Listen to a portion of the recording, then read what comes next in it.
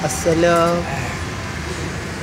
Assalamualaikum warahmatullahi wabarakatuh. Waalaikumsalam warahmatullahi thank you very much for this opportunity. I want to talk about the Advantages. advantages and disadvantages of uh, Social media. Allah. Nowadays, social media has a lot of uh, advantages.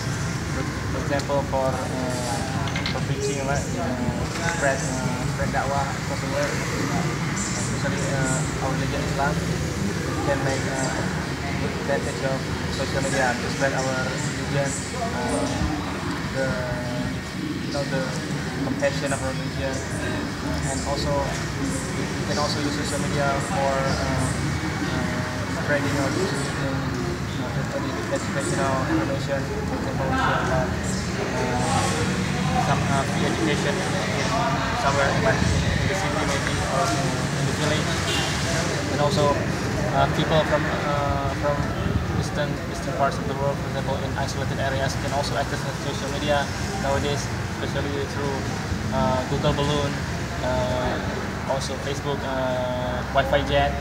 So it, it, they can access uh, they can access social media by using those kind of technology, Google Balloon or Facebook Jet, Wi-Fi Jet, and uh, many many uh, smart people try to to make uh, social media accessible across the world. Uh, especially nowadays uh, in Africa, it's very very